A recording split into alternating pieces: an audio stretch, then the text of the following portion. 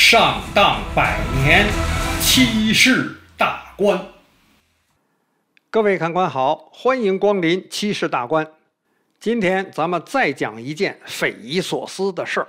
六十六年前，在湖北汉阳县的汉阳一中，发生了一桩震惊中共国和世界的大冤案，史称汉阳事件。震惊到什么程度呢？一九五七年，路透社援引北京党媒的消息，刊发了一篇题为《万名中国人观看三人被处决》的报道。这么说的：九月七号，三名在六月汉阳学生暴乱中的领导人，在万人大会上被公开处决，其他领导人则被判处五到十五年的有期徒刑，几十名学生被勒令退学。这究竟是怎么回事啊？闹到要杀人呢？我们主笔林辉教授让山哥给大家讲讲。开讲前还提醒您点赞、订阅支持我们啊，谢了。书归正本，汉阳事件又被人称为小匈牙利事件。年轻的看官可能不太清楚匈牙利事件，咱们呢就简单介绍几句，也算是交代一下汉阳事件的国际背景。话说，一九五三年三月五号，黄俄他爹斯大林翘了，赫鲁晓夫继位。一九五六年初，老贺做出了个关于个人崇拜及其后果的报告，称斯大林是暴君独裁者，进而呢，他掀起了揭发批判老斯的运动。老大哥自己开辟斯大林。这事儿呢，引起了东欧一众小帝国的变化，其中以匈牙利知识分子为主导的诉求最为激烈。到一九五六年十月，匈牙利爆发了要求改变共党领导，并且摆脱老大哥控制的抗议游行。这之后，苏联在黄俄的支持下出兵匈牙利，血腥镇压，造成了两万多人死亡。这就是震惊世界的匈牙利事件。虽然这个匈牙利知识分子的抗议运动给镇压下去了，但是呢，也让远隔万里的老毛和共党心中很害怕，因为此时毛在篡政后完全摔碎了自己给中国人民画的自由民主的大饼，强力推行残酷愚蠢的政治、经济和文化政策。很快呢，就引起了国人，特别是知识分子的不满。为了匈牙利事件不在中国上演，老毛他下决心要消灭不满情绪，就是咱们现在常说的哈，他并不想解决问题，只想把提问题的人解决掉，因为他根本就不想改变。他知道自己执政的最大威胁来自那些具有独立思想的知识分子。所以，他第一个就是想让他们彻底消声。据说呢，老毛每天在中南海坐马桶上出翔的时候，早就把《三国演义》里的整人权谋嚼的是透透的。所以，他在精心策划之后，一九五七年春天，先后发表了关于正确处理人民内部矛盾的问题，还有在中国共产党全国宣传工作会议上的讲话。开始以引蛇出洞的方式，诱使众多知识分子大鸣大放。他呢，还给他的毒蛇计划打了上光蜡，美其名曰帮助共产党整风。表面上看起来很光鲜哈，不少天真的知识分子和民众就信以为真了，开始公开批评共党。因为在刚刚过去没几年的老蒋时代，他们也是批评没遮拦的哈。而且蒋总也没把他们怎么地呀，所以来到五七年这个时候，振聋发聩的言论就包括：现在学生上街，市民跟上去，形势非常严重，共产党已经进退失措，局势已是一触即发，毛主席他们混不下去了，该下台了。他们要求共产党与民主党派轮流坐庄，还尖锐地指出。根本的办法是改变社会主义制度，请共产党下台。一党执政有害处。各个民主党派都有首脑人物向共党提出：既然是共同执政，共党你有自己的武装部队，那么我们民主党派也要有自己独立的武装部队等等。各位看官，您听听，这还了得吗？按现在严防死守的管控力度，上边他哪句话都够杀头了吧？显然，那么早的时候，中国人就认识到了共党一党专政的害处。老毛和共党当然容不下这些危及他政权的言论呢。到了六月八号，老毛他不装了，共党他发出了毛起草的组织力量反击右派分子的猖狂进攻的指示，宣称这是一场大战，战场既在党内又在党外，不打胜这一役，社会主义是建不成的，并且有出匈牙利事件的某些危险。自此，反右运动正式开始。在毛共看来，运动的目的是将可能的匈牙利事件主动引出来，使之分割在各个机关、各个学校去演习、去处理，分割为许多小匈牙利。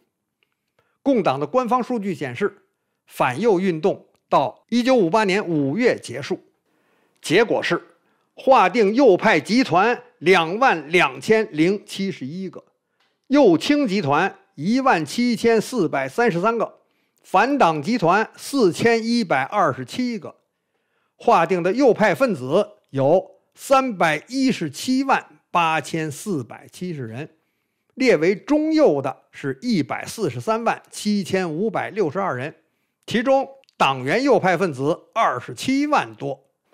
高等院校教职工右派分子三万多，高等院校学生右派分子两万多，在运动之中非正常死亡四千一百一十七人。共党他到现在都是玩这套臭词儿哈，其实就是给打死了。什么叫非正常死亡啊？你怎么不非正常死亡啊？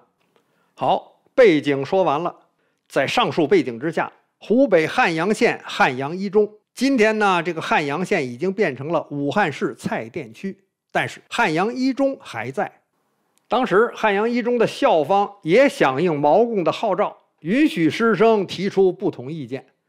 一九九九年一月十五号的《南方周末》对这个汉阳冤案的来龙去脉进行了梳理。咱们下边说说啊。根据上级指示，汉阳一中于一九五七年六月上旬召开了学代会。学生们可以向学校领导和学校工作提意见。时任副校长王建国受校长韩建勋委托，做了题为“大家动手勤俭办校”的报告。之后，学生代表一共提出了三百四十多条意见。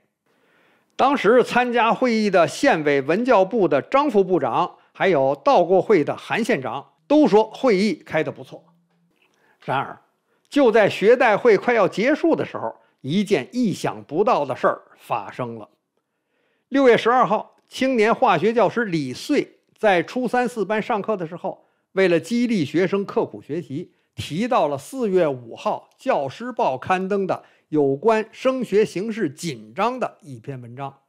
文章说，今年二十个初中毕业生中间，只有一个能升入高中。一九五七年，孝感专区下达的招生计划，汉阳县当年应为初中毕业生一千零一名，计划招收一个五十人的高中班，升学率只有百分之五。这么低的升学率啊，这瞬间让学生们都不淡定了。拼了三年，百分之九十五的人都要走人，要失学了吗？所以还没等下课。他们就去找副教导主任杨松涛和校长韩建勋询问升学率到底是多少。因为呢，这俩回答不一致，学生们就认为校领导这是在骗他们，就吵吵着要去县教育局查看文件。韩建勋、王建国等人百般劝阻，却没能奏效。午饭之后，一名初三的学生敲响了集合钟。全校九个初中毕业班的部分学生涌向了操场，随即冲出校园，前往县教育局。沿途，有的学生还在大街的墙上写了一些要求升学的标语。根据当年人日的披露，学生们贴的一百四十张标语中，包括“欢迎蒋介石回来，到台湾去”等等内容，够猛吧？反观当下，被共党洗脑多年的学生中，还有几个为了争权力有这样的胆气和血性呢？包括已经成年的大学生，情绪爆棚的初中生们冲到了县人委会，啊，就是文革之前的县政府之后。学生代表要求见县长，但是县长不在，教育局和其他办公室也都没人。冲动的学生没有找到相关文件，就开始扔办公用品，在墙上涂写要求公布升学比例之类的标语，还到邮电局给二中、三中的学生打电话请求声援啊，但是电话没通。不久，当学生得知县长他在共党的县委会呢。又一窝蜂的就涌向了县委，县里的官员得知学生前来的原因，谁都不敢直面学生，所以呢，把县委大门紧锁上了。愤怒的学生们一看官老爷想当缩头乌龟，就更怒了。一二三，连番冲击之下，大门被撞开了，学生们涌进大院，遇到前来阻挡还批评他们的兵役局长、团县委的一名干部。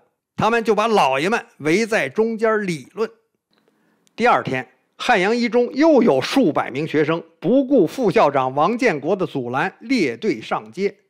王建国呢，没办法，只得布置两名副教导主任在校照管上课的学生和教师，自己则带着部分教师跟着学生队伍一边走一边做劝阻工作。学生队伍再次来到县人委会。这回见到了县长韩茂林，就向他提出了扩大招生比例的要求和缩小城乡招生的差别要求。韩茂林解释说，县里没有权利解决这个问题。学生们不服，就拉扯着县长带他们去省教育厅请愿。拉扯之中，有两名马仔为了保护县长和学生发生了冲突，还被学生给捆了。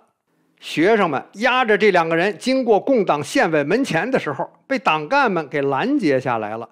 几名学生还被扣留了。王建国副校长为了防止事态扩大，赶过来请共党县委放出被扣的学生。可是马仔们坚持不放。在干部和闹事的学生吵得不可开交的时候，共党他调来了几百工人驱散了学生。冲突之中，党干、工人和学生都有人被打。眼看这事情闹大了，有些学生也害怕了，就陆续的离开了县里。还有的学生被家长拉回了家，事态就逐渐的平息了。大家看吧，学生因为不满极低的招生比例，要求提高，这过分吗？即便放到今天，依山哥，别说学生怒了，连家长都会上街。